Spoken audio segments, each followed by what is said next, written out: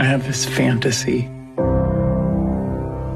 that even when I'm older, I will lie under the tree like this with my partner and we'll just take a moment to appreciate this beauty.